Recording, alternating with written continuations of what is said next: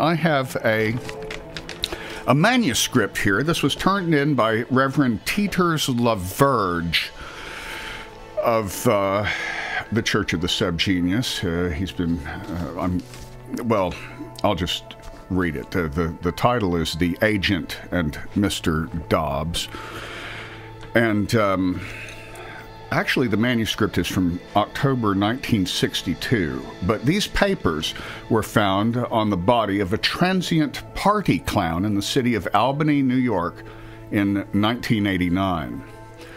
The papers had been meticulously taped back together after an apparent attempt at shredding them. Some pages are missing. The party clown was determined by the county coroner to have been killed by, a, by being force fed copious amounts of silly putty, uh, some of which still had a cartoon imprint of a pleasant yet disturbing face of a smiling man with a pipe clenched between his teeth.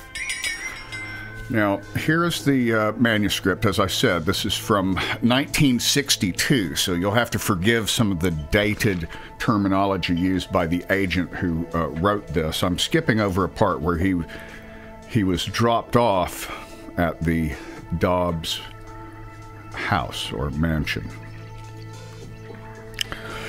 The knocker on the huge oaken front door was a rather heavy, rusty iron piece in the shape of a dollar sign. I banged it down thrice and awaited an answer. Soon the door creaked open, and in front of me stood the tallest colored man I have ever seen, even taller than Agent 541. However, he had a very high, squeaky voice that resembles a certain cartoon mouse. He asked me my business, and I replied that I had an urgent appointment with Mr. Dobbs. The uh, man answering the door seemed fairly out of it, too, and replied back that the sky was pretty damn blue today. Again, I had to wait a few minutes until he asked me my business, but before I could answer, he was ushering me into the cavernous building. Once inside, I noticed that it was rather well appointed with both new and antique furnishings, which to my eyes seemed to come from all corners of the earth and were set about in no discernible pattern. There were piles of paper and stacks of money everywhere. What caught my eye, though, was the incredible amount of junk laying about the place. This Mr. Dobbs, it would seem, uh, had a habit of collecting useless objects found by the side of the road. Finally, after walking through many hallways, I was shown to a door and told to walk in, that I was expected. I did as told. The room I entered was the most sane that I had so far seen, a, a typical den that any well cultured man may have in his home. Mr. Dobbs was sitting in a large leather armchair with his back to me, a billow of smoke coming up from his front. I slowly walked over to him, he said nothing, but with his right hand he motioned me to sit on a folding metal chair adjacent to him. He seemed to be engrossed in a television program. It was Leave It to Beaver, a wholesome program. Suddenly he began to speak. I do love this show. That Ward Cleaver is one relaxed man. Connie doesn't like me to watch this program. She thinks it's pornographic, but that's why I like it. He fell into a deep silence, intently watching a commercial and nodding his head in time with the jingle. When the commercial ended, he turned to me and asked, What can I do for you, young agent? I noticed then that even though the upper half of his body was clad in a dark suit with white shirt and dark tie, the bottom half of his body was clad only in wing-tip shoes. It was very disturbing and put me off for a moment, but I'd been warned by my handlers that this Mr. Dobbs had many tricks up his sleeve, and I took this as his way of making a person uncomfortable.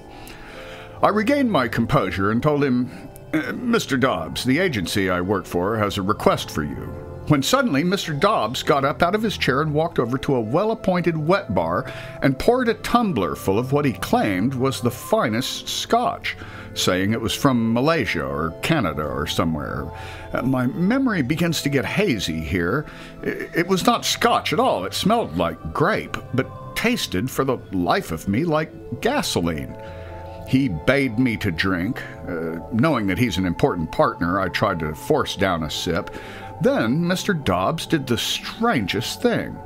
He started to do what I believe is called a hula dance, yet he was humming some tango to himself.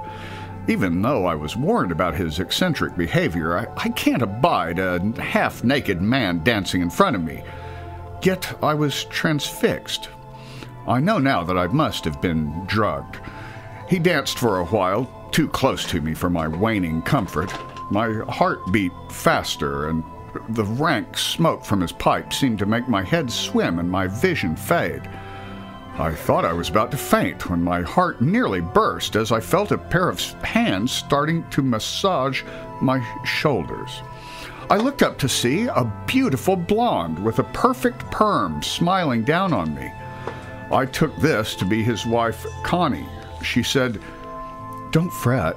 Bob likes to dance on Fridays. She continued, Now, now, dearie, we mustn't mess with our company. Mr. Dobbs ignored her and continued his lewd dance. Connie bade me to ask Bob what questions I may need to ask him. I started out by getting straight to the point, reminding him of the troubles with Cuba. Mr. Dobbs then did the queerest thing I'd seen him do yet. He ran over to a big wooden box on the bar, opened it, and pulled out a huge novelty cigar. He then proceeded to insert said huge novelty cigar up his uh, neither port. The cigar spontaneously ignited, and Mr. Dobbs blew smoke rings out of his ears. Surely this was an illusion or a hallucination from my drugged st- state. I found myself mesmerized by Mr. Dobbs' antics. Uh, Connie's back rub and the scotch I found myself taking a liking to. Uh, Connie's hands reached down to my uh, lap as I watched Mr. Dobbs preach about economics and Cuba and war and how it all tied together, all the while bent over with a huge cigar puffing away in his nether port. Uh, that is the last I remember of that evening.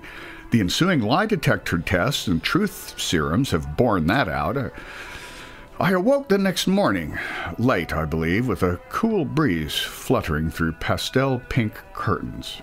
I had the worst hangover I'd ever experienced. I cannot fully describe the sensation. It was somewhere between getting a root canal and the high of three martinis. I was startled to notice that Connie Dobbs was nude lying next to me. I tried getting up, but soon regretted it by the dizziness it caused, and worst of all, I saw what was laying next to Connie. All I saw was its shoulders and a cheap bouffant wig on its head. Its skin was gray. I don't mean sickly human gray, I mean gray as gray can be. Its body shape was all out of whack, too. Then I had fleeting memories of a wild sexual encounter with Mrs. Dobbs and something else.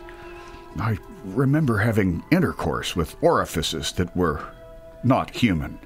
I must have shuddered, for Connie rolled over and picked up a glass of some clear liquid off the nightstand and two tablets. She demanded I take them, for they would make me feel better.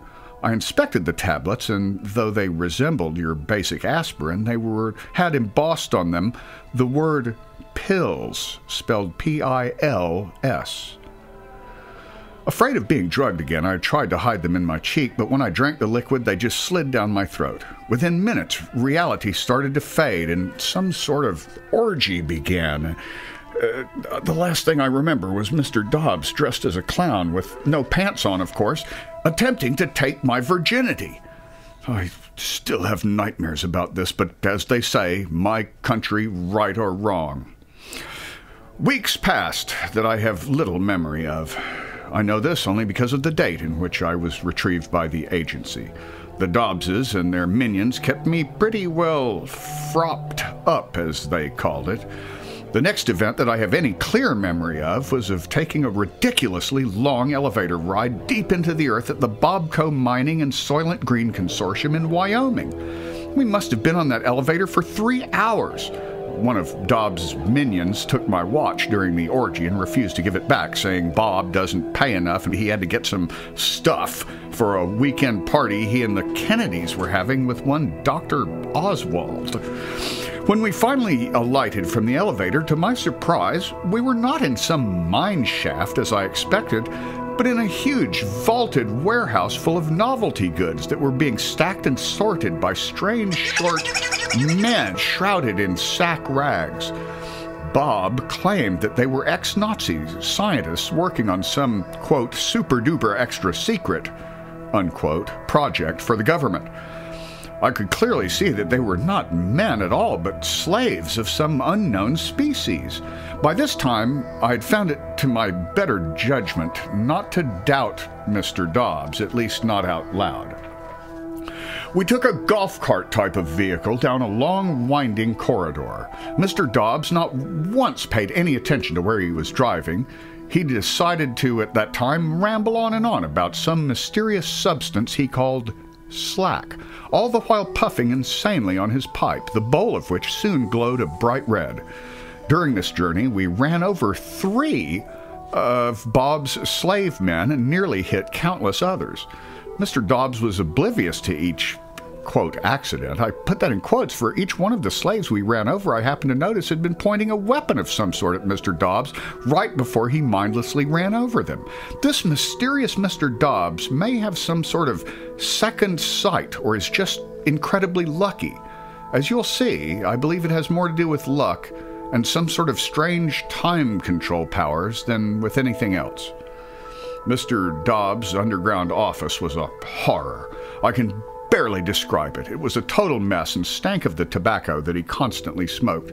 In fact, I never saw Mr. Dobbs without that infernal pipe clenched between his teeth. It was only after a few minutes of adjusting to the stench and the mess of the office that I saw something that horrified me. The place had several severed human heads strewn haphazardly all over. Now, I've seen some terrible sights in my life, and I suspect that if I'm on the Dobbs case, I will see worse. But what made me gasp was that the heads were not of random humans, but of public figures that we would all recognize. I saw the heads of, and this section was carefully cut out of the original report, and one was actually singing. It begged me in a tenor to please kill me. Surprisingly, in the state I had been in, I did not faint. Instead, with all the smoke from Bob's special tobacco mix, I started to laugh. This got Bob all worked up. He started to jump around inanely and laugh. He then proceeded to use one of the heads, not the singing one, in a most foul manner. Bob bade me sit down on a chair that was stacked high with papers. I looked at the stack and back at Bob, wondering what he expected me to do. By this time, I'd begun to get in the spirit of the situation and laughingly knocked the stack of papers on the floor. Mr. Dobbs didn't seem to mind. In fact, he stared down at the mess I made and said thanks. Picked up a sheet of paper saying he'd been looking for this contract for quite some time. The glyphs on the sheet were of no known human alphabet that I have ever encountered. For some reason, this worried me and reminded me of the slaves I saw working for Bob and that dreadful night with Mrs. Dobbs and that strange gray creature. I did not have much time to consider the implications, for Mr. Dobbs wadded up the paper, tossed it in a corner, and told me to follow him. This time we did not take the vehicle, but instead walked down dark and dank corridors which had a gradual downslope. Being without a timepiece, I cannot estimate the amount of time we walked, but it seemed like hours. Here I must admit my perceptions of time had been warped by constant exposure to Bob's tobacco.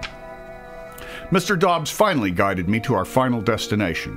What I saw in that final circle of hell, I cannot, I will not reveal. Through all the pressure that the agency could bear against me, a loyal, true blue agent, an American, I found it in our best interest to keep some things secret, even from the boss, the man in the dress.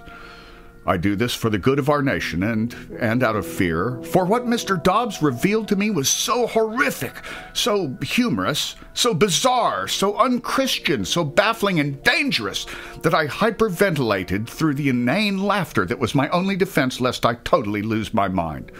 The last thing I remembered that day was Mr. Dobbs dancing around my prostrate body, he was prancing really, and mimicking my insane laughter with his own even crazier chortles.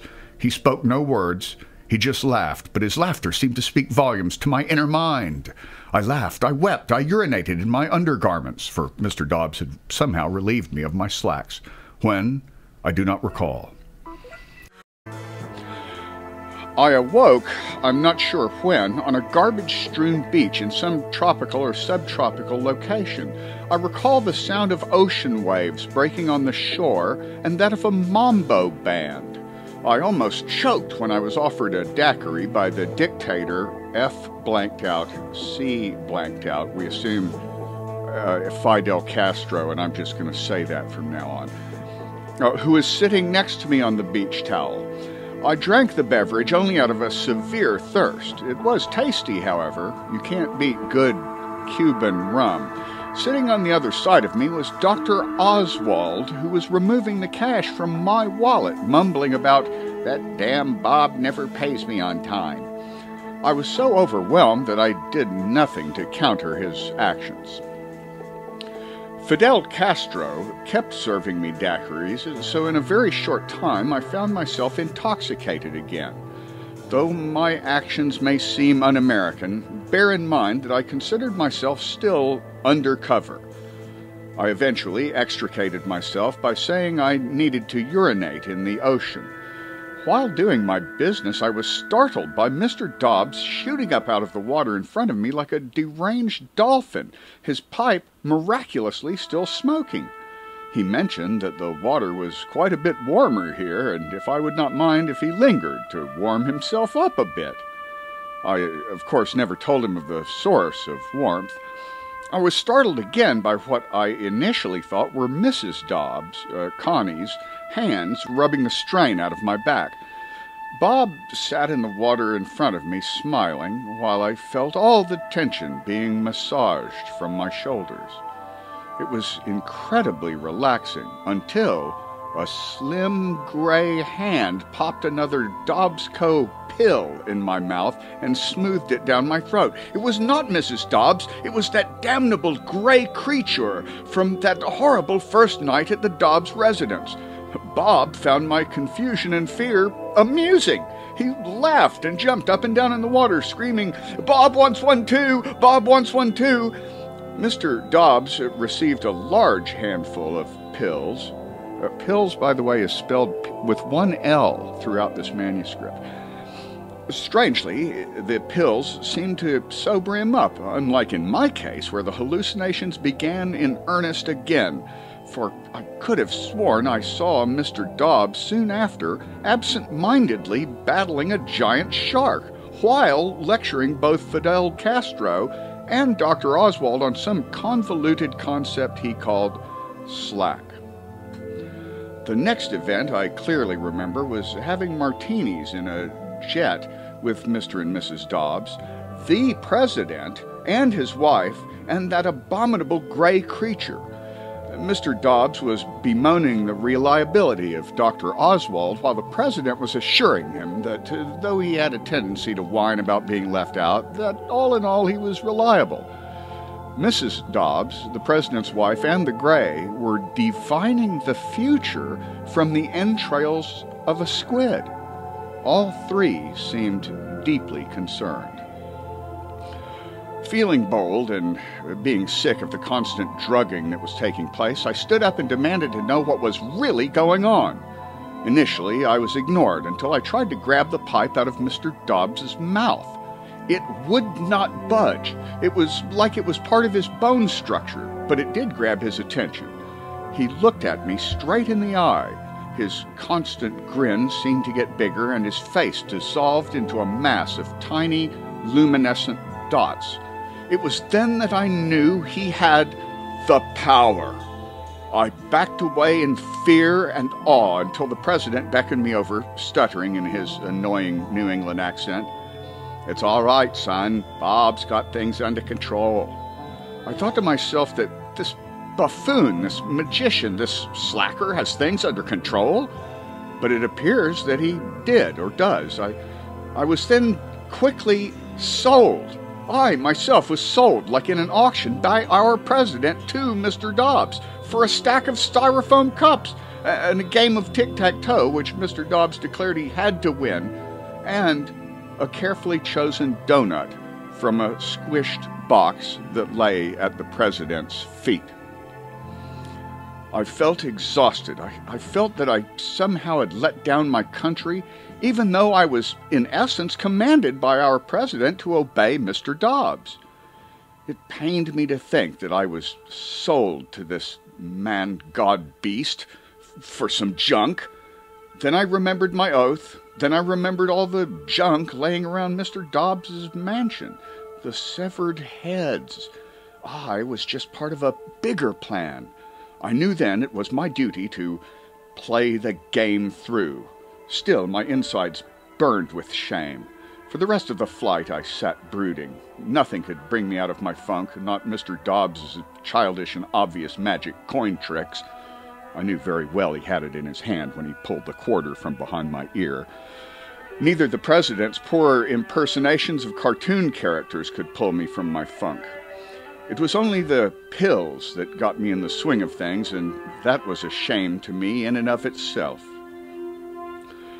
The Dobbses, the Grays, and I were dropped off in Miami Beach, where the Dobbses had a residence, while the president mentioned that he had to go to some secret base in New Mexico until things, quote, cooled down a bit, unquote. The Dobbs residence was not at all like their mansion. It was small and neat. I was ushered into the bathroom and told to take a shower, for according to Bob, I smelled like, quote, the older ones on a binge. Uh, the shower immediately sobered me up, and I found that I was famished. Dinner, however, was a disappointment. It was cold rice with a bit of rat meat. Bob said he had learned this hangover remedy from one Uncle Ho and that I'd better get used to it. It was disgusting. I, I feigned eating, hiding the half chewed scraps in my napkin. Bob did not eat but puffed away on his pipe. Connie, however, ate with gusto.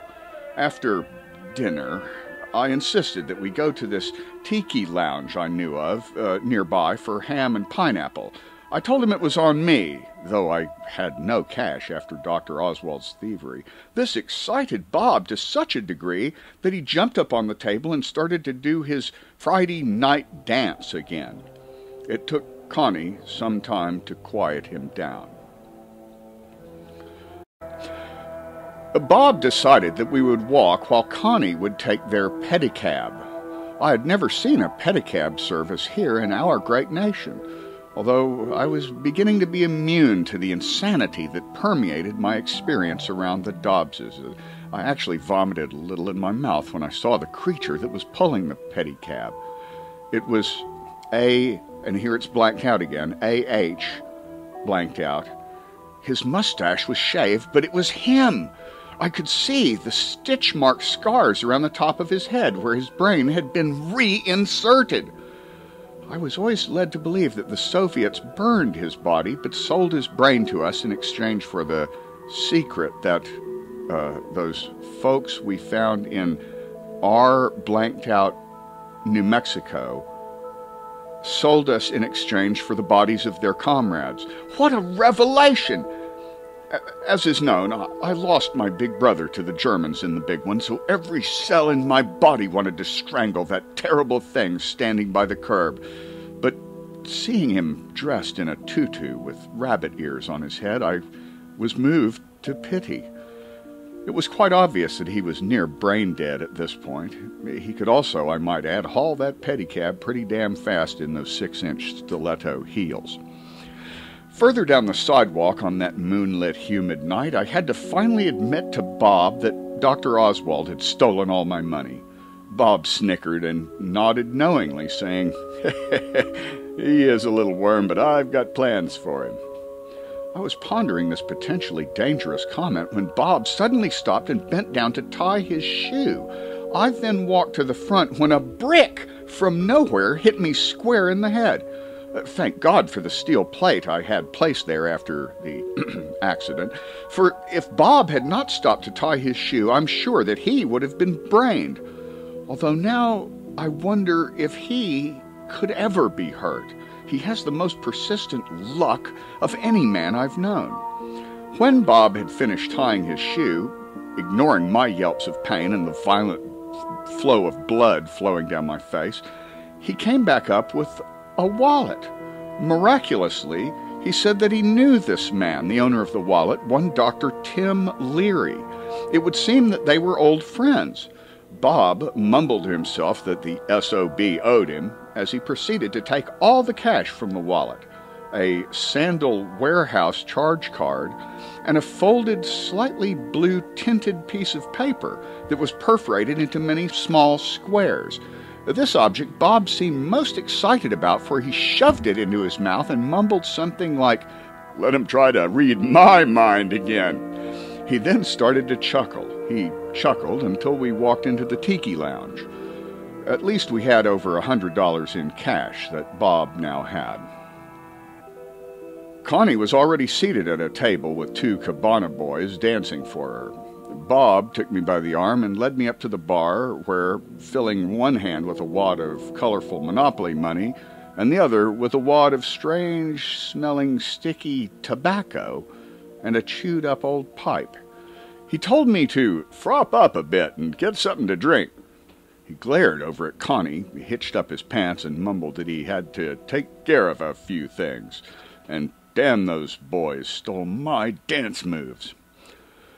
I found myself engrossed in this strange tobacco. It was not as the youth of today call Mary Jane. It had a foul odor and taste, but for some reason I, I found that it not only soothed my spirit, but that the pipe seemed to be stuck in my mouth. I was not clenching my teeth down on the stem, yet I could not extract it. It was as if it glued itself to my mouth. That fact made eating dinner rather difficult. I apparently was oblivious under the influence of this weed when I heard the sounds of breaking glass. I knew it must be Bob. Surely enough, he had pushed all the plates and glasses off the table and was dancing with the boys on the tabletop. Connie looked away, apparently in disgust, as she filed her nails with what looked like the severed hand of a gorilla or some other sort of great ape. Bob then threw a salt shaker, which hit me square in the forehead, causing it to bleed. I must now add that no one had mentioned the fact that my face was already covered in fresh blood or that I was not wearing trousers. Bob had still not given them back to me yet. He yelled to me, Get those damn Mai Tais! I have a powerful thirst! I proffered the Monopoly money to the bartender in my fropped up state. He looked at Bob and back to me, shook his head, and produced a pitcher of the drink. There was fear in his eyes. Is this Bob a member of a criminal group? The criminal group that does not exist? It may have been some strange influence of the frop, but the twenty feet and the few seconds that it took to get to our table seemed more like a mile and an hour. I wonder now if there was not some sort of space time distortion brought on by the frop, for when I arrived at the table it was neatly set with plates of appetizers, which very much looked and tasted like flambéed monkey brains. Tasty, though. Bob's were raw. Plus, there was a youngish looking man that was introduced as Timmy Boy. Bob said that he had uh, big jumbo, big giant colossal plans for him. It was apparently the Dr. Tim Leary whose wallet Bob had just found on the street. I began to wonder if I were being set up, but reviewing the strange luck that Bob seemed to have, I had to admit to myself that maybe this guy was more than extraordinary. He already had shown that he had at least as much power as the president.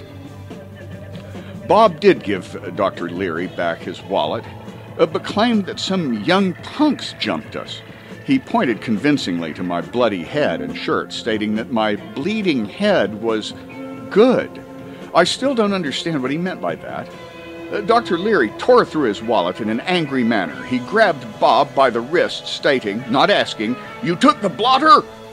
Bob just stuck out his tongue with the messy, faded, and chewed wad of paper sitting there. His tongue was extraordinarily long and lizard like. He snapped it back with a grin. Dr. Leary drew his hands back to himself and pouted. Dinner went surprisingly well. The conversation was adept and civilized, though the Dobbs seemed to have a language of their own, which Dr. Leary and I could somehow follow. The other two disconcerting issues I remembered was that every time I tried to pour a drink for myself, Bob would knock it out of my hand, stating, Frop before booze, you can't lose. Booze before frop, you'll wish you were dead. The other issue I had was that uh, what I thought was Connie's smooth hand rubbing my knee, uh, she is a knockout, was, however, of course, not hers, and no, not the gray either. It was that damned A blanked out, H blanked out, AH, under the table begging for scraps. I kicked the thing away, but out of mercy did give it the cold monkey brains that I could not finish.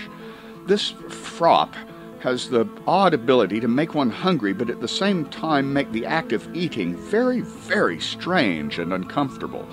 I wanted to chew the food, but was not able to swallow it. Bob, on the other hand, did eat heartily.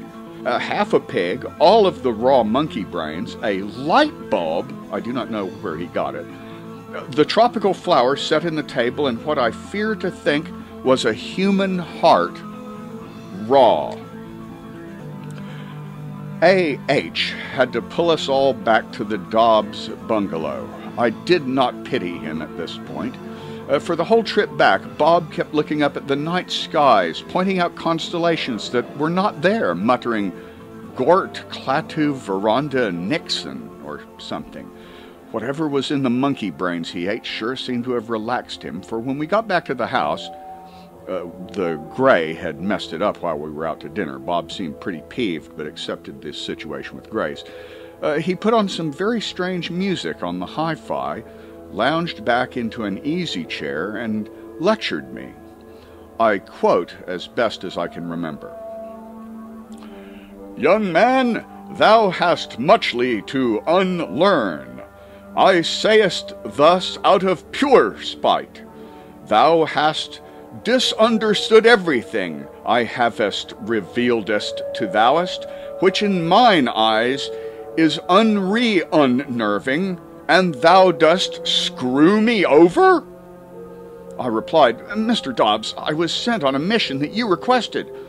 I have only held back one truth, and that is that you are a wanted man, wanted by our great nation to smite our enemies. I was told that you have the powers to do that. Then why don't you? Bob wriggled around in his chair. I feared another dance session emerging, but he seemed unbob like nervous. Look at you, monkey boy. I just ate the brains of your great great great uncle with a bit of lime juice. Do you want to de re unevolve back into our natural state? Or evolve into a pile of ashes? I sat staring at his classical face pondering what he had told, not asked me. His face and body began to shimmer, or flicker like a film projector gone haywire. Bob scrunched his face up and let out a fart that literally shook the house. This emission propelled him up into the air to the point of hitting his head on the ceiling. He slowly descended back to the exact spot he had previously been sitting. A change came over him. His eyes had glassed over, and he looked confused, as would an elderly man with dementia. So, he said out of the blue, let's get some hookers. I know of a great place next to Cape Canaveral. Bob drove, if one could even call it driving, for he never once had his hands on the wheel. He appeared to steer with his knees, but mostly with another part of his anatomy that seemed to have a literal mind of its own, at least according to Connie. Uh, Bob never looked out the windshield. The whole time he was behind the wheel, he had his head sticking out the driver's side window, nostrils flared to an incredible degree, and his tongue hanging out like a dog's.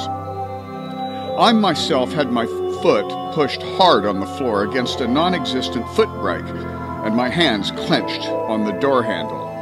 Bob was constantly looking around and up into the night skies. He said he was looking for them and sniffing, actually pronounced it sniffing around for the skunk ape, a version, he told me, of the Himalayan yeti. He said there were lots of them around this part of Florida, that they were friendly, uh, but also that they had glands that contained a powerful aphrodisiac. So, either way, if you run into one, you are lucky. It was not long until he slammed on the brakes and we skidded off into a ditch. Bob bounded out of the car and started to run into a swampy area to the west. I followed out of stupidity, for the bramble and the vines growing in the swamp cut up my legs bad. I still had no trousers. I should mention that Bob did not actually run, he leaped and bounded more like a gazelle, quite graceful. When I finally caught up with him, he was rolling around in a large patch of trampled down cane that certainly looked like the bedding of a great ape like creature. The smell was sickening, but it did have a strange allure to it. Bob was in ecstasy as he rolled around in the stinking muck. Must be in heat, he exclaimed as he got up. Uh, oddly, his clothing had not one speck of dirt or mud on it. When I mentioned that, he just giggled and for the first time acknowledged that I was uh, wearing no trousers, saying, We'd have to remedy that. Once we were back in the car, Bob let out a sigh that sounded almost sad. Skunk Ape is one hot to trot yeti, he whispered something in a language to himself as he played pocket pool in his pants. Well, now, son, off to get you some trousers. We had not driven far, maybe a mile to the edge of a small run-down town full of white trash, as they say in the South. Bob's nostrils started to flare again as he sniffed about in the air and chuckled to himself. We pulled off onto the side of the road next to a ramshackle house that was more down than up. The incongruity was not lost on me, at least.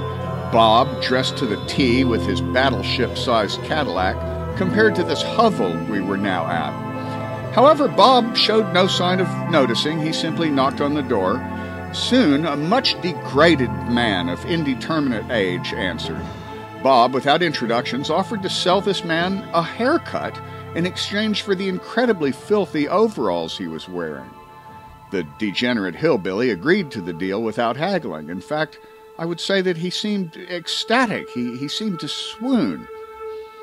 The haircut Bob gave him was perfect. He even styled it exactly like his own, using hair gel from a tube he had in his jacket pocket, telling the man that now, he emphasized, things are going to change for the better.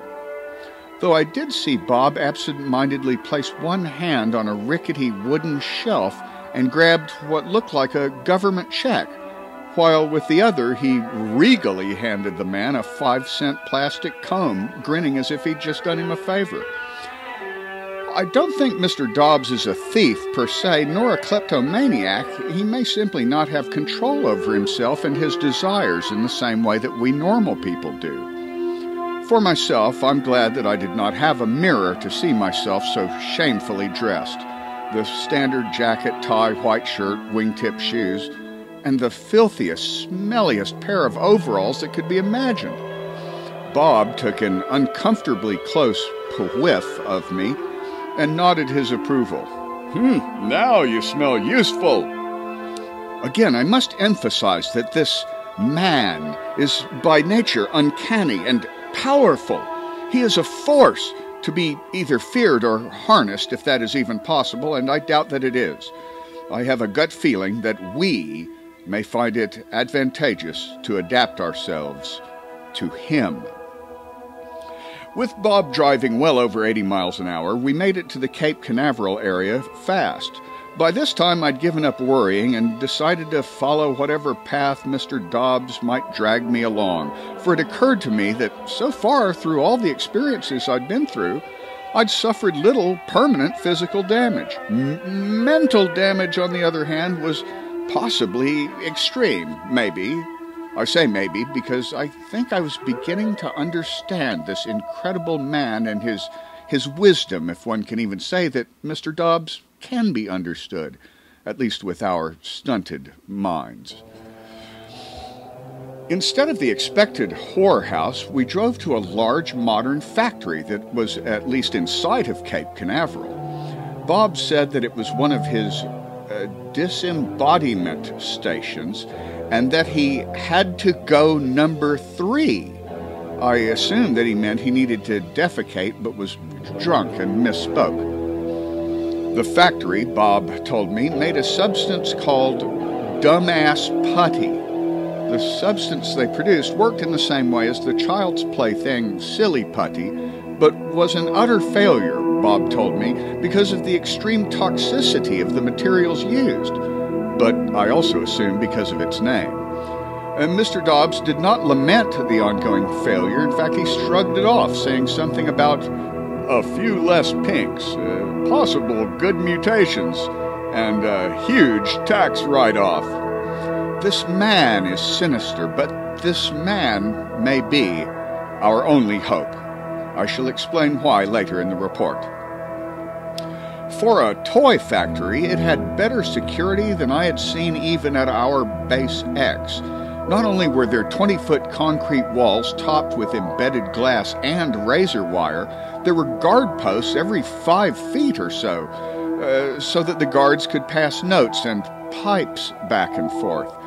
Even Bob was ID'd at the entrance, which was more like the heavy gates that lead into a castle than anything. He even had a moat around it with what looked like alligators. They, I eventually learned, turned out to be alligator people the cast offs from one of Bobco's genetic enhancement laboratories. This factory was like none I had ever seen. Sure, there were huge machines pushing out some putty like substance into large vats that oddly had stenciled on them the words Tuna Surprise. And come to think of it, the food canning part of the factory had machines with the same title stenciled on them. However, I was shocked when Bob led me into a room the size of an aircraft carrier that was filled with the most advanced computers I had ever seen. There were hundreds, if not thousands, of Nancy Reagan, nee Davis, uh, lookalikes pushing punch cards into the slots. Bob and I walked through the cavernous affair, me with my mouth agape and Bob with his typical grin.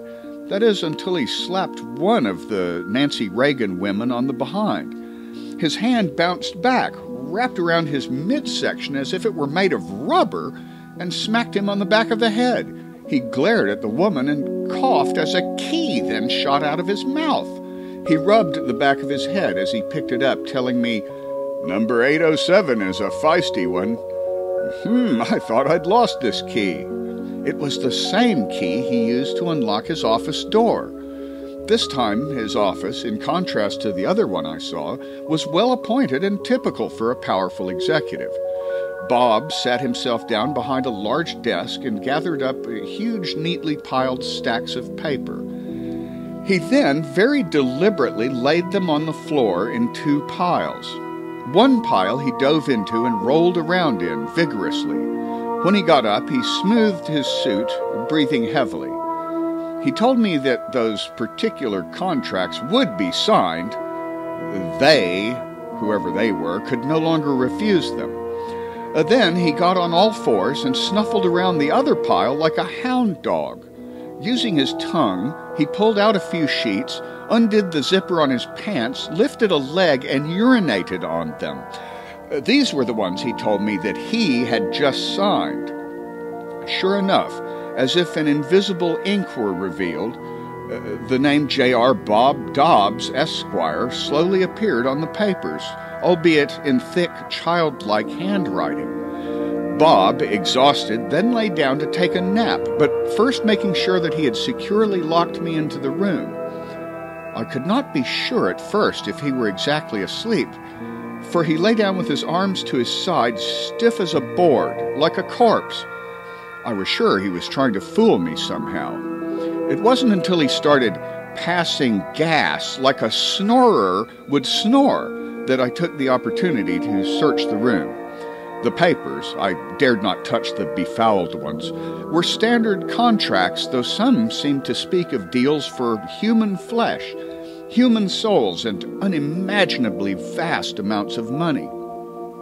His desk, however, was filled with cotter pins, broken pens, and jars of urine.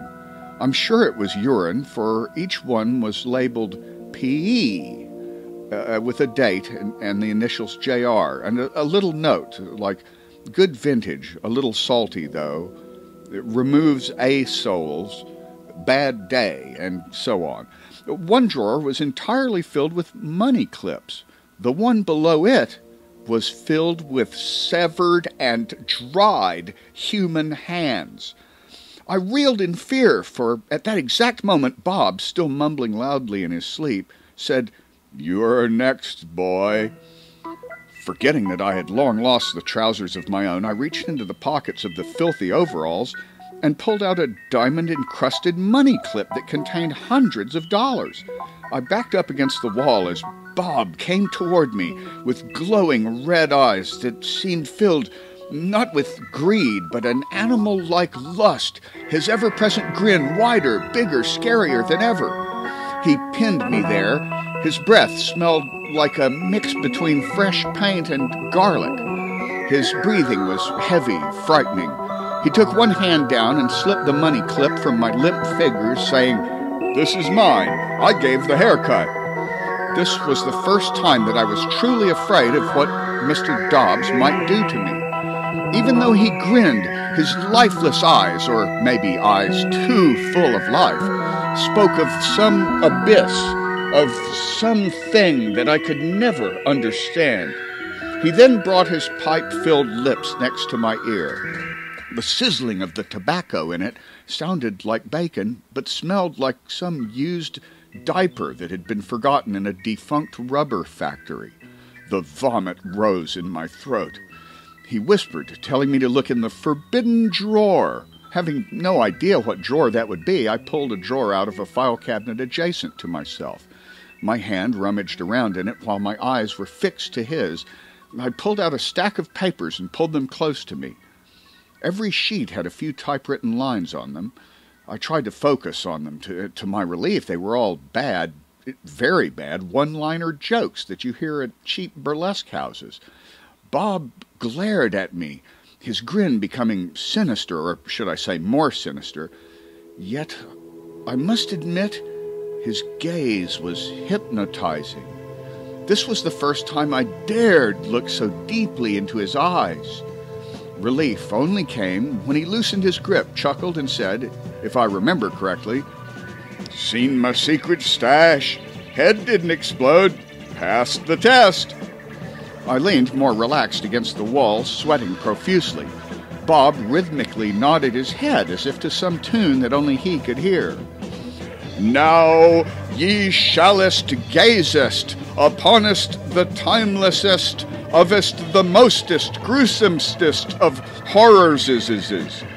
Again he tried and failed to sound biblical, yet now I wondered that if truly the ancients in the good book did not speak with an affected drawl.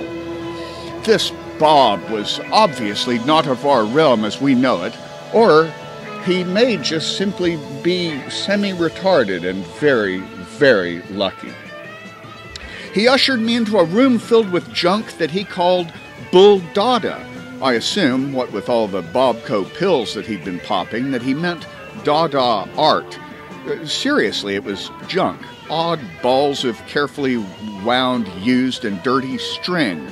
A newspaper and magazine clippings of male models. Oddly, they all looked like Bob poorly painted monster movie plastic models and greenish stone figurines of strange looking sea creatures.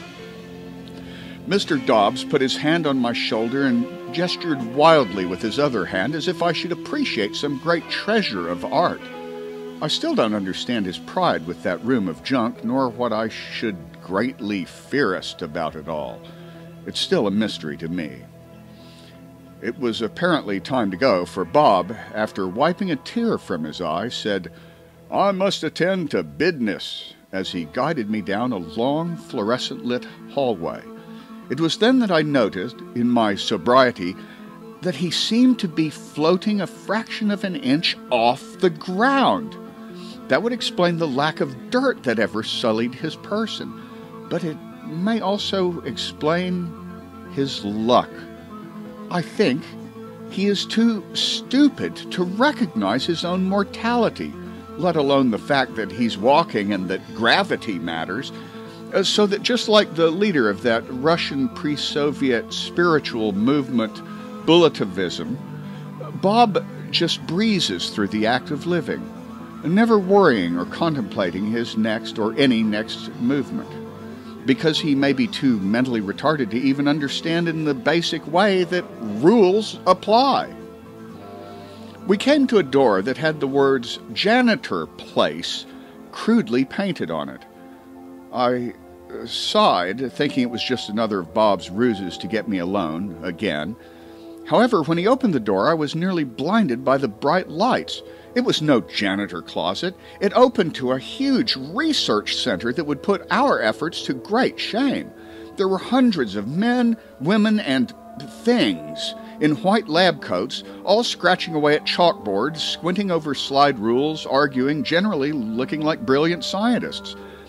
I have little understanding of zero gravity physics, but from what I saw of our quick walk through, these people and things were onto something big. Bob seemed very unimpressed. In fact, he pushed me along, saying, I really, really need to go number three. We made it to a sealed doorway. Uh, Bob pushed aside a few feeble grays as he inserted his head inside a vertical toilet looking device. He groaned with pleasure as he turned the pages of a cheap monster movie magazine with his toes. I repeat, I do not know what he did with his head in that device, but I do know that he said, Taking a number three is better than Passex. Mr. Dobbs seemed much relieved after taking this number three. He had more of his trademark relaxed self about him.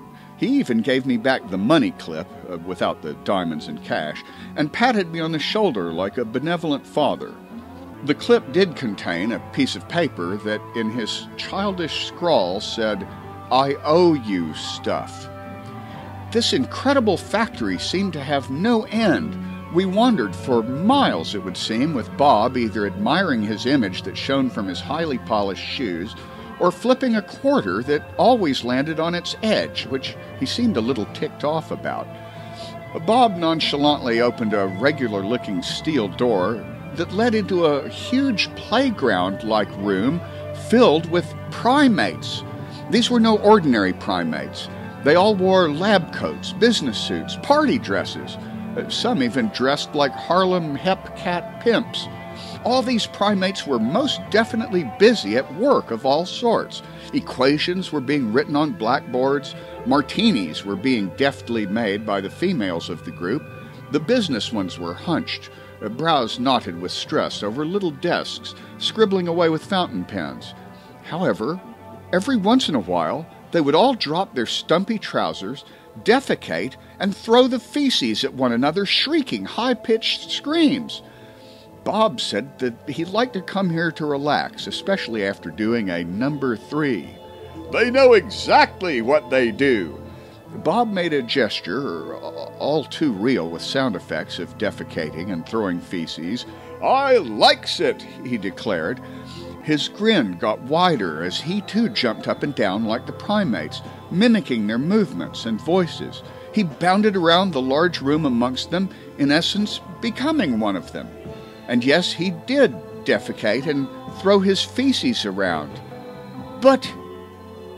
But. It made sense. After all the monkey business, as Bob called it, he was in a much better mood. I suppose all that man needs is to take a number three and fling a bit of feces around to, quote, even his keel. His grin was radiant as we walked out into that hot, humid night. We tarried around his car for a few minutes. They were the most relaxed moments that I'd had with Mr. Dobbs up to this point. I offhandedly asked him for a cigarette, and though I had never seen him smoke anything but his infernal pipe, he pulled a pack of my favorite brand of smokes, Old Tar Lung, from his jacket pocket. It was a needed smoke, one that I had not had since I got rotated back from Korea in 52. Bob smiled at my obvious joy, telling me, Those coffin nails sure make a tasty cancer in you, Binks. Spread it on my fresh sliced human pain toast every morning. Bob then hopped, like a drunken rabbit, into the driver's side of the vehicle and shouted to me that, Now we're going to have some real good fun, boy. Get in. Now! He then let out the most outrageously poor simulation of a rebel yell that I have ever heard. It sounded more like the mating calls of those great apes that reside in the deepest, darkest Congo. It reverberated through the thick night air. I think I may have heard a call in response, but it could just have been a drunken redneck.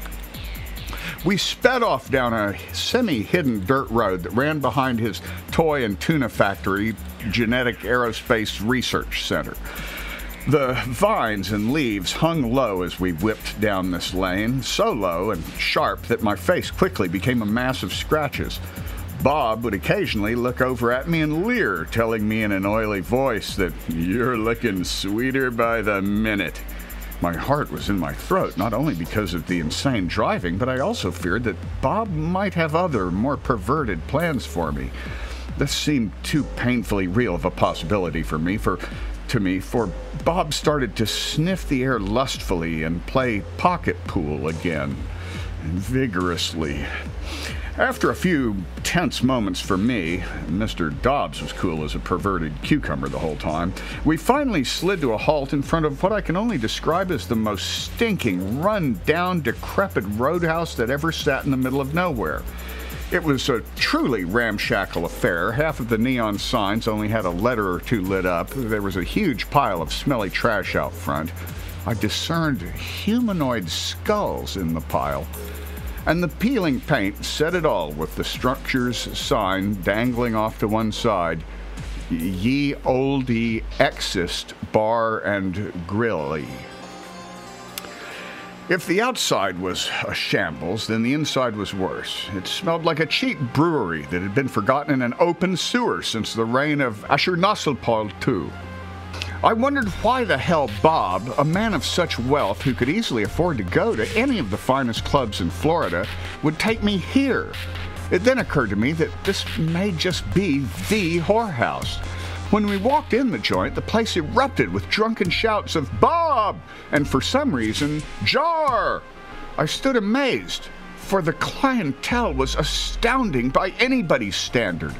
I saw John Birch passionately kissing Mao Zedong in one corner, our vice president rubbing the crotch of the preserved corpse of Stalin while drunkenly shouting about damn pinko faggots.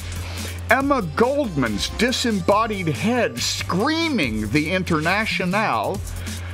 M blanked out, M blanked out, stabbing, I was later to learn, our actual non clone president in the right eye with a fork while Frank Sinatra groveled at her feet. There were also, and the rest of the page is blanked out, and the young folk singer Bob Dylan. Richard Attenborough was filming it all. The worst part, however, were the whores in the joint grays, greens, mauves, reptilians, anti reptilians, them, and ones that I did not recognize. They were all gaudily dressed as housewives, construction workers, maids, businessmen, house painters, bee girls, dead astronauts. The list goes on, and all had horribly cheap bouffant wigs on. Bob handed me a jar of yellowish fluid and a handful of pills, telling me that he would soon be back.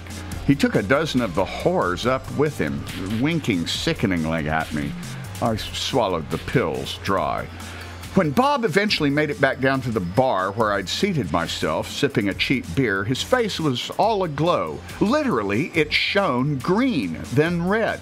One of those gray creatures was behind the bar pouring a jelly jar full of vodka for Premier Khrushchev. Bob sat down between us. He still had a satisfied grin on his face that smacked of unknowable pleasures. Bob suggested that we have a drinking contest. The pills were really kicking in at this point, so I found it hard to believe my eyes, but even harder to deny what I was actually seeing. This is our place, the real place where things get done, he whispered to me. Then, speaking directly to the premier of the Soviet Union, he said, So, Nicky, think you can drink me under the table tonight, eh? Khrushchev looked at Bob straight in the eye, something I've seen very few attempt. Yes, Mr. Lubes, I drink until you, how you say, blow O-ring.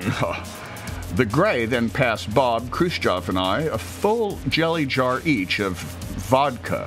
Both Khrushchev and Bob down theirs. I was halfway through mine, had to run outside to vomit.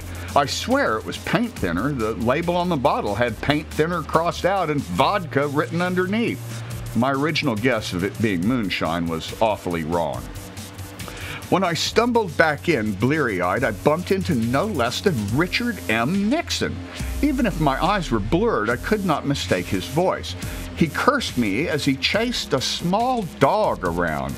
I made my weaving way back up to the bar where Bob and Nicky were now glaring and laughing manically at each other while pounding their shoes on the bar top.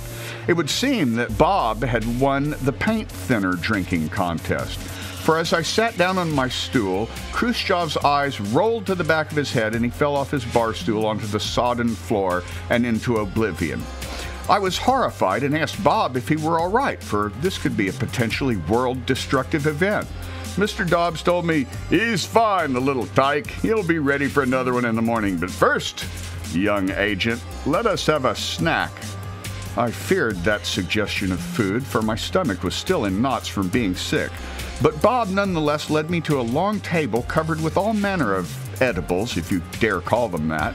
There was a bucket of small red colored balls of a gelatinous material that Bob told me were prairie squid caviar. I had to run back outside to get sick again. It smelled like rotten fish bait. Bob seemed to relish them, for he ate the whole large bucketful with his grimy hands. He let out a belch and for some reason rubbed his backside. I vomited harder at that stench. When I made it back inside, worse for wear, Bob told me he wanted to try my luck out at one of the many card tables. The rest of the evening was a horrible blur, for not only did he force feed me pills, but he kept buying round after round of the local actual moonshine, thank God. Mr. Dobbs could hold his liquor well, though he did seem to flicker bodily on and off like a broken television, especially when he did poorly at the games of chance. At one point, we, uh, Bob, Mao, Churchill, a beatnik type, Ed Sullivan, a strange alien looking creature with the face of a cuttlefish, and I were playing some sort of complicated card game where the cards themselves represented different currencies, worlds, and immortal souls. Bob lost the big hand of the night. In a rare fit of anger, he grabbed the cards from the alien and threw them on the floor, cursing, Well, I do believe that I've been cheated. He then grabbed, wrong side up it seemed to me, an IOU written on a bar napkin and squinted his drunken eyes at it, saying, I guess I'll see you in 1998. He slurred under his breath. Ah, screw you, you damn cheating squid. Though it was Bob, I knew who had been the one that was cheating, for he kept, not very slickly, mind you, grabbing cards out of my hand when he claimed he needed them. The whole event, from what I can remember, was pathetic. But what disturbed me the most was one of the cards had a picture of our planet on it, and the alien looking creature seemed to relish the fact that he had won it. Bob, in a panicked state that I've never seen before, hustled me so violently toward the door that we knocked over Mr. Nixon, who was sitting cross legged on the floor, grilling skewers of meat over an open fire. He cursed us, mumbling that he got the taste for dog while doing some brain massaging during a trip to North Korea, and how we ruined his meal, though we'd all soon be dancing to his tune. Nixon did, however, hand us a cheaply mimeographed booklet entitled how to Serve Man. With that, Mr. Dobbs' face relaxed a little. He nudged me with his elbow, grinning and saying in a bit of an oily voice, Good recipes in this one. He chuckled to himself as we walked out into the misty morning light. I can still hear the dreadful sound and import of his index finger tapping hard against that thin manual of evil. Well, young agent, Mr. Dobbs said to me as we got into his car, looks like we have to get you back to Washington. Bob leaned against a large Cadillac and sighed. I wasn't sure how to take this turn in his demeanor. Uh, yes, I had been confused and terrified by his actions, but I'd yet to see him depressed. It frightened me in a way that I could not previously have imagined. Here stood a man, a thing, that exuded all the confidence and power that we as a people not only admire but need if we want to survive this complicated abyss that our species has dug itself. I could only stand still, sick to the stomach, for even though Bob probably is insane, he is our best chance. And after the strangeness and fragile nature of our powers that be that I'd witnessed, I could see that no other human savior could uh, redeem our slack, as Mr. Dobbs was wont to say. I felt like crying for the first time in years, that is, until Mr. Dobbs stunned me again. He suddenly straightened his back and became hyper alert. My sense of danger ignited as I unconsciously reached for the revolver that I would usually carry in a shoulder holster it, of course, was not there. Bob had sold it to some street hood in Miami for a half eaten sandwich. At least that's what he told me. My eyes darted into the still dim woods around us, fearing the worst.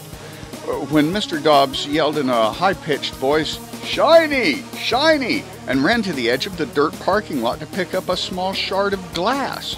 There were hundreds of shards laying around everywhere. He picked it up and purred to himself as if he had found a great treasure. His smile had returned full force. I could only admire and be disgusted with such a man. Our drive back to Washington was fast and insane, of course. Uh, we must have made that drive in record time, for Bob never once slowed down. He breezed through traffic lights, stop signs, over hillbillies, and Every time a patrol car pulled up behind us with lights flashing, it would either mysteriously lose power and pull off to the side, or it would suddenly veer off into a direction that Bob happened to be looking, sometimes up or down into the skies or the earth itself.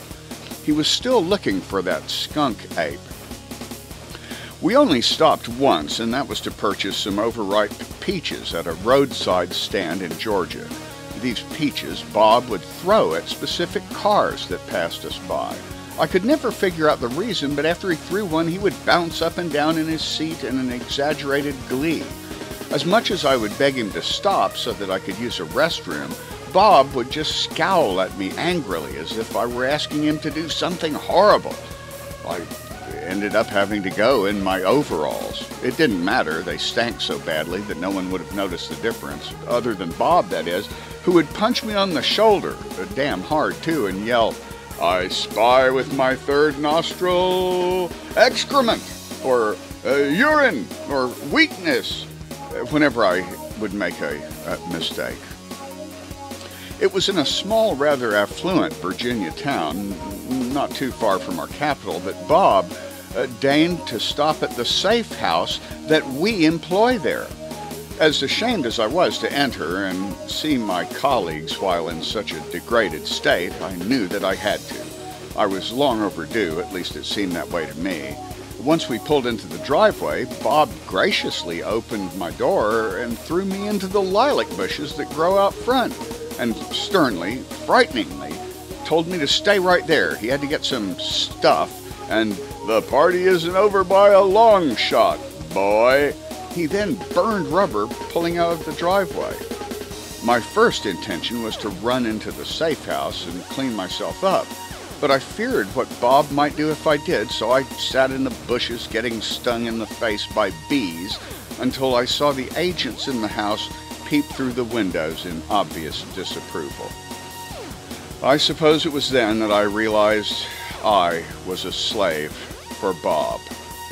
A most horrible feeling, most horrible. It was not but a few shameful minutes later that Bob screeched back into the driveway carrying a case of cheap beer and a dirty aluminum bucket of what he called head cheese, even though it looked more like and smelled more like rotten fish bait to me. You beings like this stuff, right? he asked me. I could only nod my head. Uh, Bob beckoned me out of the bushes. I stood there in front of him as he flicked a single mote of dust from my overalls. He then looked me over with a discerning eye and nodded in approval, even though I stank and was completely filthy. The key to the safe house, as always, was underneath the welcome mat. I braced myself for all the humiliations that would be heaped upon me once this assignment was over. No one was there to greet me, not surprisingly. Uh, so Bob, as if he knew the place, led me to the upstairs bedroom where we keep our communications office. He banged the bucket of chum down on the desk in front of Agent X. The skinny little bastard almost puked. I doubt he would have survived a weekend with Bob.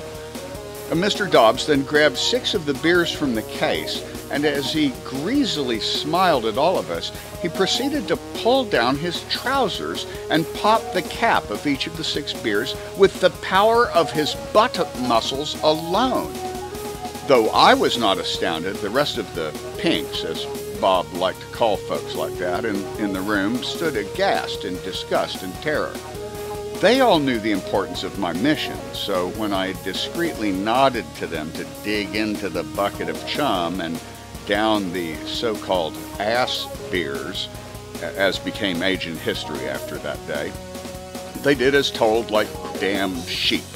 Agent X, the chubby, useless one, stuttered that there had been an awful tragedy and uh, where the hell have you been? Bob's smile disappeared, and in two giant bounds he leaped over to the man, glaring. Look here, little pink boy. I've been gambling with your future, and I lost that. And I lost a pair of gold cufflinks that Connie's sister gave to me. So what if one of the clones got damaged? So what?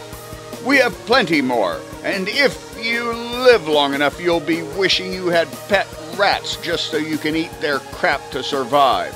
So don't whine to me, pink boy.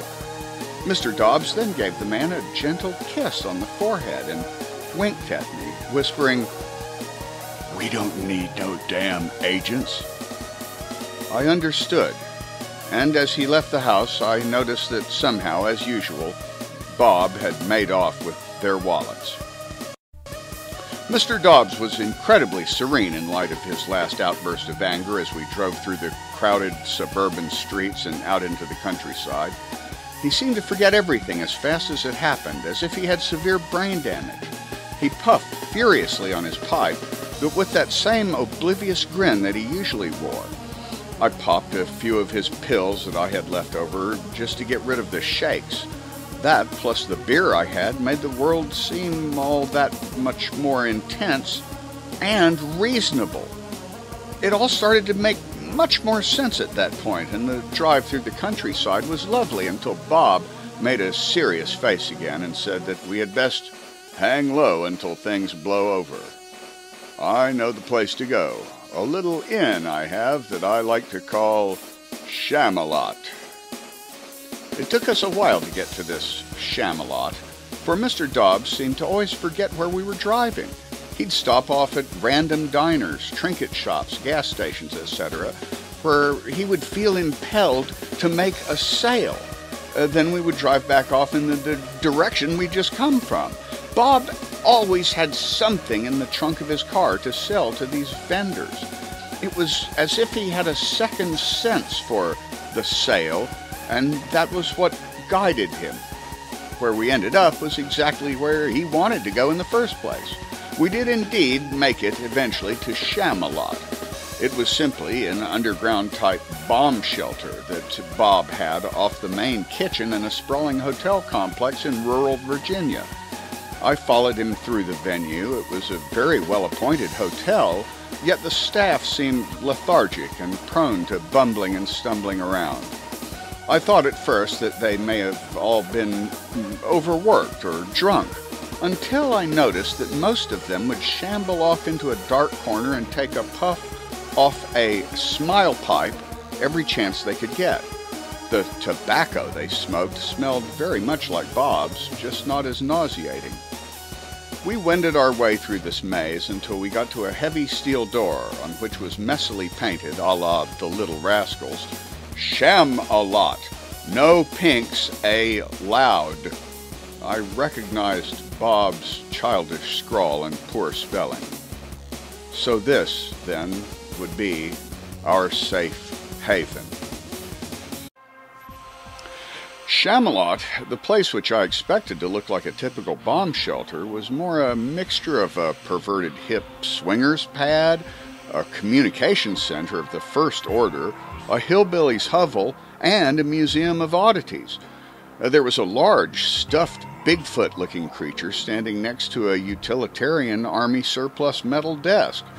A bloody scimitar was crudely duct taped to the thing's right hand, and at the bottom of the statue, along with a pile of dusty humanoid skulls, was a plaque that stated J.B. Exlotl Dobbs uh, the 13th, the beaten fist of Jehovah won. I could not tell you if the thing was once a real beast or not but its furry body sure stank like the frop that Bob always smoked. As I looked over the shelter slash swingers pad of Bob's, mostly to find an alternate escape route, I became aware of the fact that we were not alone, for from a far corner came the sound of shallow, rasping breaths. Even after all the events that I had witnessed, I still held some fear of the unknown in my heart, with trepidation, I slowly walked to the corner where the sounds emanated. There, in an easy chair, illuminated by the dim and wavy light of a lava lamp, sat a grotesque version of what was once probably human. Its face was a sickening parody.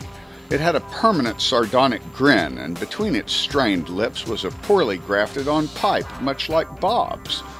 The thing exuded a continuous soft and disgusting chuckle that sounded like the sarcasm of the damned. I found myself backing away, but with a withered hand the thing beckoned me to it. it chuckled. Have I got a joke for you? The thing then proceeded to tell a long, rambling, and incoherent joke about a priest, a pink, and a yeti that go to some bar. It made no sense whatsoever, yet the creature kept laughing to itself as it puffed on its pipe. I did not even notice that Bob had come over and was standing next to me until he let out a room shaking guffaw at what I suppose was the punchline, uh, which went something like humanity popping like a bunch of damn crawfish in a hot skillet. I shook my head and told this thing before me to shut the hell up and that we may be on the brink of atomic war. Mr. Dobbs twisted my ear in a most painful manner, and while patting the thing on its shoulder, said, Fuck 'em if they can't take a joke. Suddenly, a very real and cold fear gripped my heart. I asked Bob if he knew something I didn't. Did Khrushchev die of alcohol poisoning? Did the commies assassinate our president in retaliation? Were we on the brink of atomic destruction? Bob just played pocket pool and chuckled. Nuclear war is the least of your worries, young agent, at least after last night's card game. It was then that the room suddenly lit up in red lights and a klaxon started to sound. Bob jumped up and down like a child on Christmas Day, yelling, That's Connie calling! That's Connie calling! He skipped, I'm not kidding, skipped over to a video telephonic device. There he sat down, fidgeting on a large leather swivel chair, furiously playing pocket pool. Hi, sweetie spleen, he said to the beautiful image of Connie on the video screen. What are you doing in our Dallas compound? Mr. Dobbs smiled stupidly as Connie said, Well, dearie, I had a little party at the compound last night, and, uh, well, it would seem that I made a little joke with Jackie about pranking the president. You know what a card he is and it would seem that three of the doctors overheard. Mr. Dobbs just nodded his head, smiling as if he could picture the party in his, quote, mind, unquote. Well, this morning those doctors got all drunked up and took some rifles, and, well, dearie, it would seem that Dr. Oswald was a tad bit too tipsy and grabbed some real bullets instead of the rubber kind. Connie made a gesture, and on the video screen appeared Dr. Oswald, looking sheepish and more than a bit hungover. Sorry, Bob, he said with a hangdog expression on his face obviously twisting his foot on the floor in shame. Uh, Connie, as a reward, popped a pill in his mouth, which he gobbled down like an obedient dog. It's okay, Dr. Oswald, Bob said. We all make mistakes. Fuck up, man up, man shut the fuck up uh, is the motto, isn't it? I was shocked again at Bob's levity in situations of danger. Well, fuck us if we can't take a joke. Bob elbowed me so hard in the ribs that I fell over, gasping. Have Connie give you a few more pills and 50 cents to go see a movie. I'll call Johnny Boy and clear the whole thing up. Dr. Oswald nodded obediently and walked away from the screen, grinning like a reprieved man chewing a big mouthful of pills. Look, Connie, Bob said, where's Dr. Ruby? He and the other doctors are down at his strip joint keeping the party going, Connie replied, looking as radiant as ever. Well, do me a favor, honey bunch of synapses, and go down there and tell Dr. Ruby that I have a job for him. I want him to take Dr. Oswald out, Bob said. Will do, Connie chirped as they jiggled their fingers at their throats, making a strange noise, and hung up their video phones. Bob then looked strangely thoughtful for a moment. I guess I should have told Connie that the job was to get Dr. Oswald out of the country for a little bit. Hmm. He then pulled a folder full of photos from the desk drawer and started to meticulously cut and paste Dr. Oswald's head onto various figures railroad conductors, nurses, dinosaurs, and figures of men holding rifles with crudely painted signs that said, I did it. He sighed a lot during the process until the sighs became a sort of barking noise, guttural, animalistic. He got up, smoothed the non existent wrinkles from his trousers right before he pulled them down and sat on a portable chemical toilet.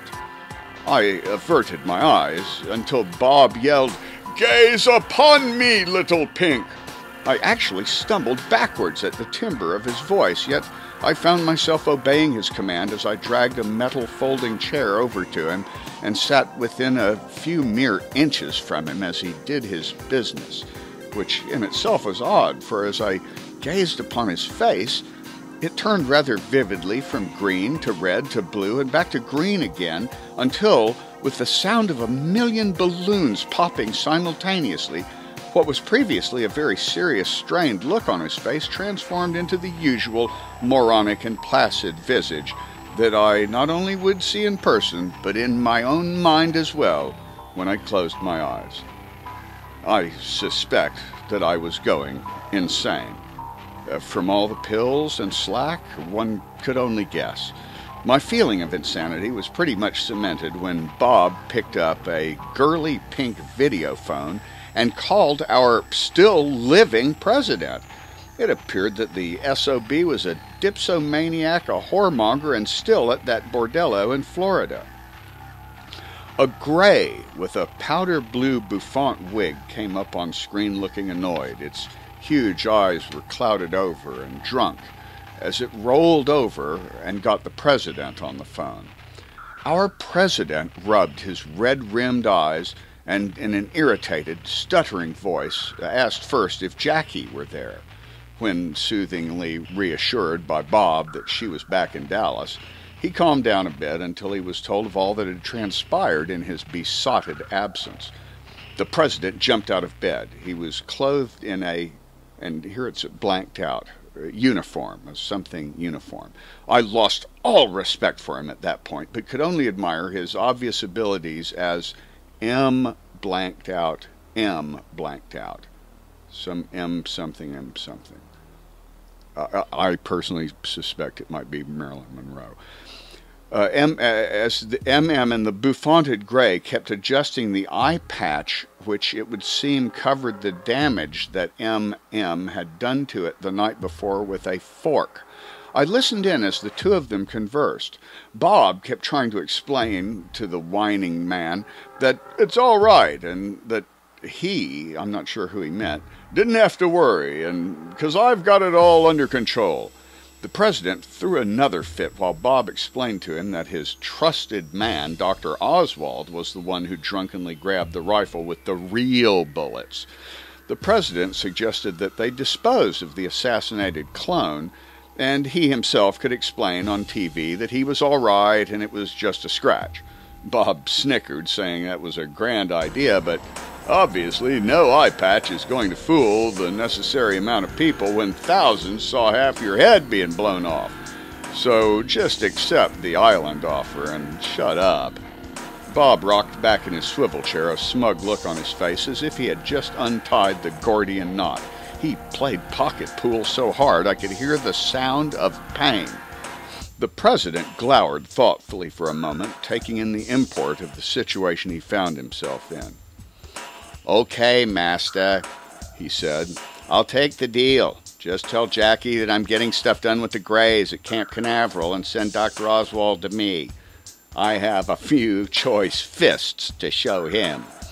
Mr. Dobbs chuckled and mentioned that he already had Dr. Ruby on the job. He is going to take him out of the country. Bob then abruptly hung up the phone. Did I tell Connie the out of the country part? He looked serious for a few moments until the thing in the easy chair started laughing insanely, yelling, When Bob Dunn fucks up, people die! And when Mr. Dobbs starts farting, the world starts. I glared at the creature in disgust. How could you joke at this moment? I, I whispered an aside to Bob, asking what manner of foul creature it was that sat in the corner. Bob said loudly, ignoring my attempt at privacy, pointing to the creature and laughing, That is a mistake. A genetic mistake like the alligator people you saw in my grand moat of happiness outside the factory. That mistake used to be as pink as you. That was my middle hand man until it decided to retire to a monastery in Tibet with a big bag of my personal stash of frop. The thing we got back from the Yeti monks was no longer human, but also not quite an overman. So I decided to graft that pipe onto its face and make it frop up 24 hours a day just to see what would happen. The young agent, what you see before you is the future of failure. What you see is an over under man. The thing in the corner puffed its pipe and cackled like a madman. You see, young agent, Bob told me, that I, I now need you as my middle hand man. I pondered the gravity of what he told me as he put some atonal rumba music on the hi fi and walked over to the classy bar to fix us a drink. He did a poor job of hiding the spiking of my drink with pills, though he obviously tried to look innocent and hide his actions. My heart dropped as he started to suddenly gyrate his hips, hula style, when he glided over with my drink. We were alone, and I had no escape. I feared the worst, but knew that this was my duty. Bob handed me the drink and suddenly got serious, if you can ever call him that. He heartily whiffed the stuffy air that hung leaden in the shelter. He told me not to worry too much, that he'd find a way to make a buck out of the whole thing. Without thinking, I drank the cocktail down. The room spun in a pleasant way, and I noticed that the little umbrella that he had put into the drink was topped off with a small plastic bobbly head of the president. The head had what looked like two bullet holes in it. I knew then that God help us if we cannot get this man squarely on our side. Bob gyrated around me while my sight dimmed into a fearful tunnel and my mind reeled at the import of this man's powers. Bob stood over me as I slumped in the chair. Boy, I have plans for you. You're going to Dobbstown for further instruction, and a little itty bitty operation to open up that other hole. I felt the room whirl as all faded out but his pipe, his grin, and that insufferable soft chuckling.